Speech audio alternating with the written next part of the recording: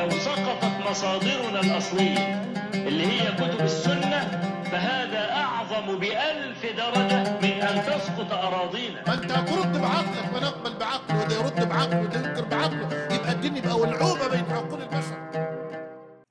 مرحب بيكم أعزائي المشاهدين في حلقة جديدة من حلقات النقل أم العقل. عنوان حلقتنا النهاردة الله خالق غير معبود عند ابن حجر. وطبعا العنوان ده كان نتيجة اللي شفناه في الحلقة اللي فاتت إن ابن تيمية قدم لينا معادلة هي مرجئة زائد جبرية زائد جهمية بتساوي عقيدة الأشعرية وابن حجر قدم لينا معادلة ذات زائد أفعال زائد صفات بتساوي التوحيد.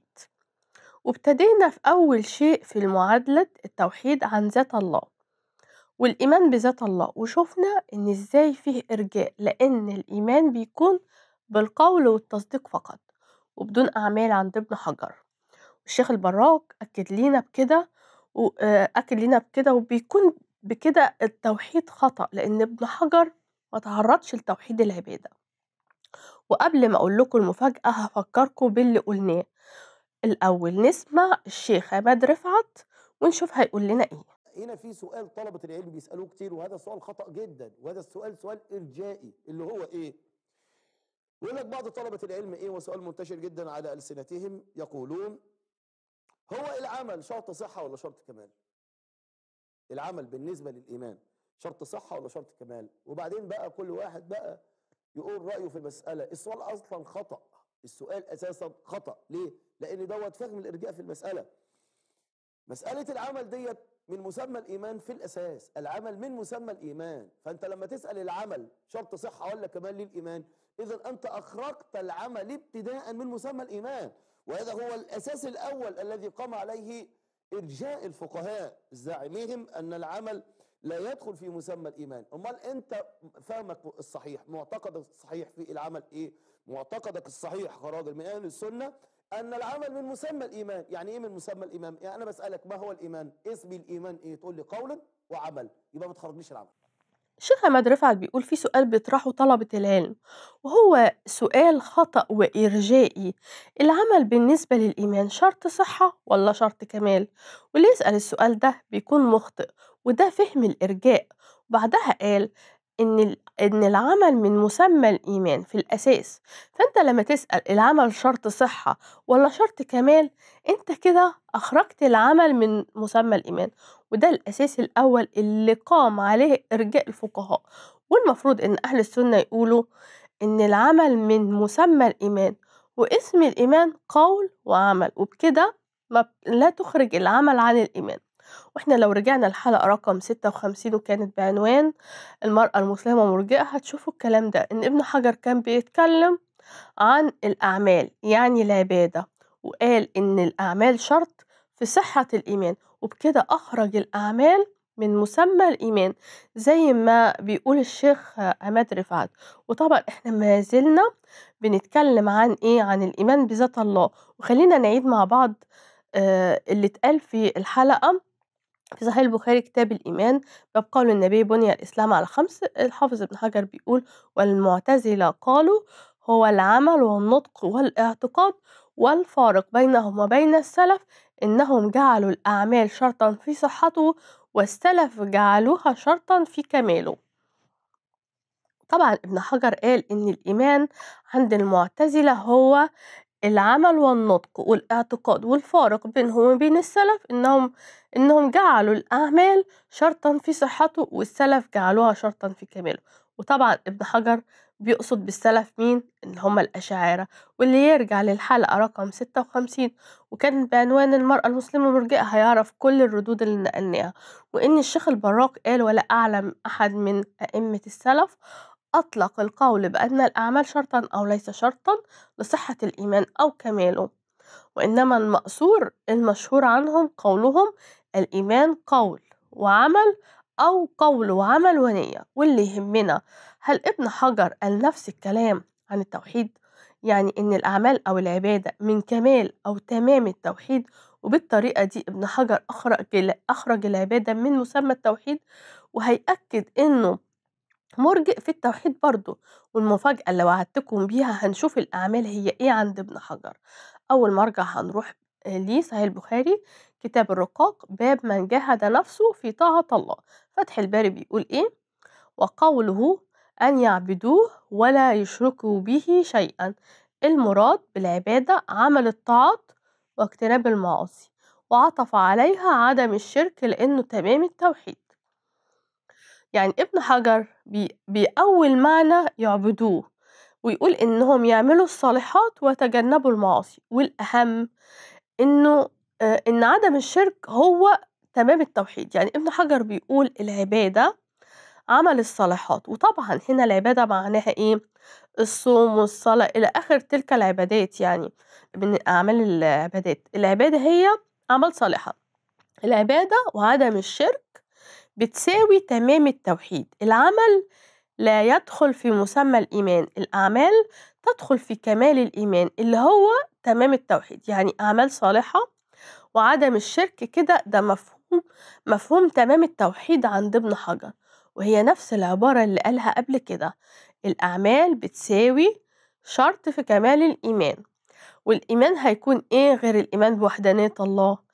إذا العبادة اللي هي عمل الصالحات زائد عدم الشرك بتساوي تمام التوحيد بتساوي الأعمال شرط في كمال الإيمان بتساوي الإرجاء العبادة وعدم الشرك زائد الأعمال بتساوي تمام التوحيد زائد شرط في كمال الإيمان بيساوي الإرجاء.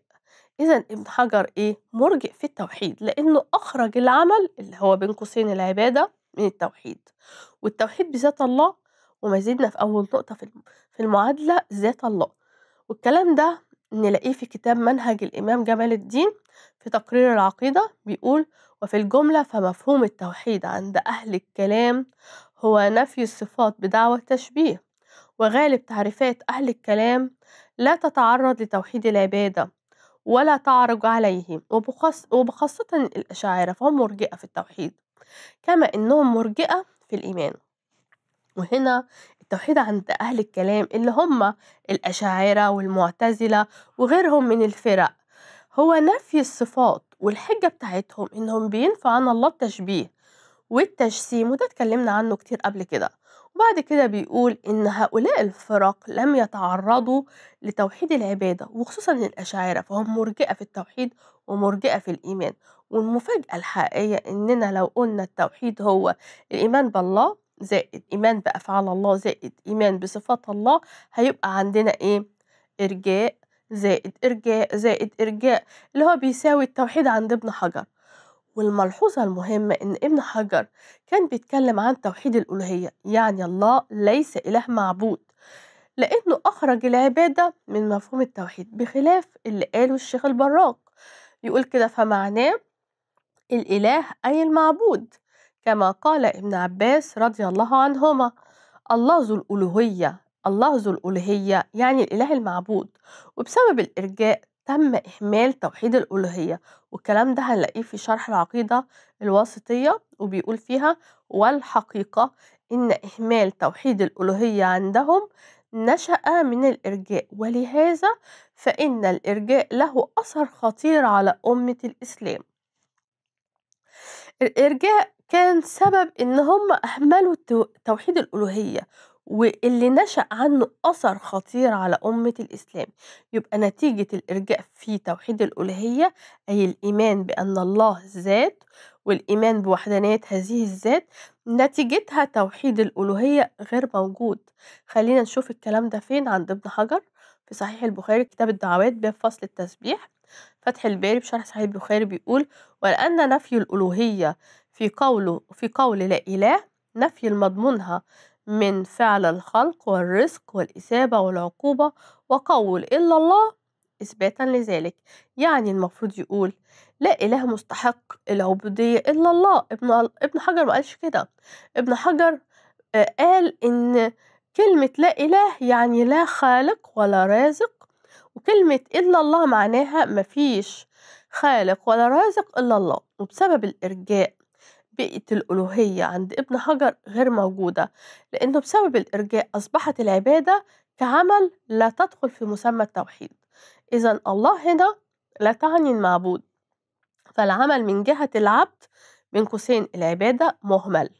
إذا الألوهية هنا علاقتها عند ابن حجر بأفعال الله زي ما قلت قبل كده. يعني مفيش خالق ولا رازق إلا الله. وهنروح للمعادلة اللي قلناها في الأول. الإيمان بالله بين قوسين الإرجاء. زائد أفعال الله بين قوسين الجبرية والقدرية. زائد صفات الله بين قوسين الجهمية بتساوي إيه؟ بتساوي التوحيد. بتساوي عقيدة الأشعرية. إذا ذات الله اللي هو الإيمان بالله بين قوسين شفنا إن في إرجاء بيساوي عقيدة الأشعرية. الإيمان بذات الله هو عبارة عن إرجاء ودي عقيدة الأشعرية. خلينا نعمل ملخص لحلقة النهاردة. شفنا في حلقة النهاردة إن الأعمال والعبادة عند ابن حجر اللي هي بيعتبرها شرط في كمال التوحيد مع عدم الإشراك هي عبارة عن الأعمال الصالحة الصلاة والص- والصوم إلى آخر تلك العبادات وبكده أخرج العبادة من التوحيد ومنها شفنا إنه مرجئ في التوحيد. ومرجئ في الإيمان وخطورة الموضوع ده إن الإرجاء أدى إلى إهمال توحيد الألوهية وإن لا إله عند ابن حجر تعني لا خالق ولا رازق إلا الله. يعني الله مش معبود مش المعبود لأنه أخرج العبادة من جهة العبد. تابعوني الحلقة الجاية؟ علشان تشوفوا الجزء التاني من المعادلة معادلة الألوهية وعلاقتها بأفعال الله وألتقي بكم في الحلقة القادمة. لو سقطت مصادرنا الأصلية اللي هي كتب السنة فهذا أعظم بألف درجة من أن تسقط أراضينا. ما أنت ترد بعقلك ونقبل بعقله وده يرد بعقله وده ينكر بعقله. يبقى الدين يبقى ولعوبه بين عقول البشر.